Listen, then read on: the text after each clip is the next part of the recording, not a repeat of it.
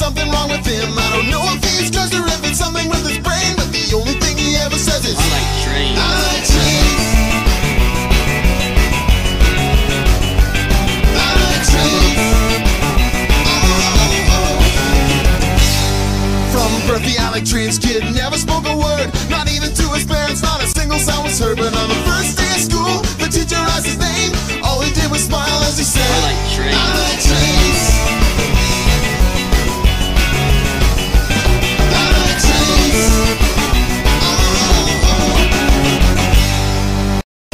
Him some Ritalin to see if that would help. The doctor found the perfect dose and asked him how he felt. He stared at the doctor with a little creepy smile, and the Trains kid said, I feel great. he got a fancy job and he straightened out his life. He met a nice girl who he asked to be his wife. As they stood at the altar and prepared